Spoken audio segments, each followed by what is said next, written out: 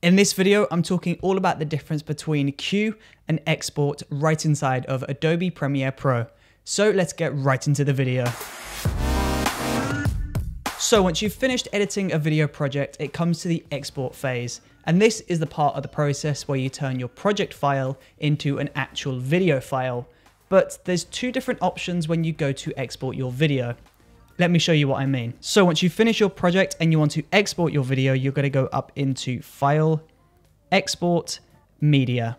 Now, that's pretty standard. And then in the Export window tab, we have all of these different settings. So we've got our formats here. We're typically going to select H.264. We've got our presets. We can put our output name and destination. Here we can choose if we want to export video and audio or isolate each channel and then down here, we've got all of our basic video settings. But we're not talking about that today. We're talking about these two buttons at the bottom, and that is Queue and Export. What's the difference? Well, Export is going to be able to quickly export your video from Premiere into a video file.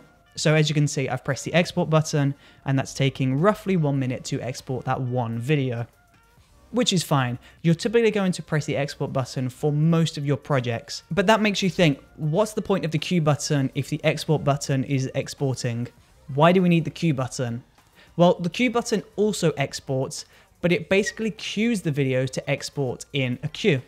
So we'll press the Queue button, and that's going to launch Adobe Media Encoder. And Adobe Media Encoder is another program in the Adobe suite, but Encoder is there to help you process batch editing. So let's say you're exporting multiple videos, let's say you're exporting 10 videos, rather than exporting each video individually by pressing the export button, waiting for it to export, going back, adjusting the settings, pressing the export button, it just means you're going to be going back and forth your computer. It's going to be really time consuming for you and it's just very pointless. So as you can see, we're inside of Adobe Media Encoder right now, and we've got three projects queued up ready to export.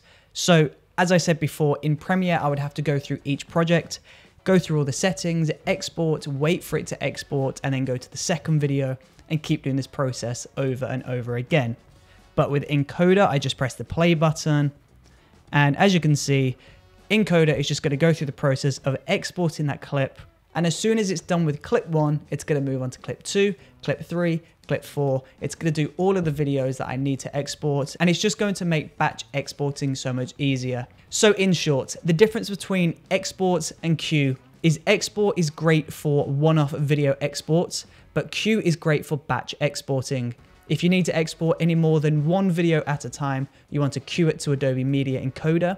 But if you've just got the one project, just send it to export. There's literally no difference between export and Queue when it comes to settings. You get all of the settings, you can send your video wherever you like to with Queue and export, but the difference is export is single, Queue is multiple. And there you go. I know this was a lengthy video for something so simple, but I promise you, knowing the difference between export and Queue is going to help you save a lot of time when it comes to exporting multiple projects. So if you found this video useful at all, then please do let me know in that comment section below and I will see you on the next video. See you there.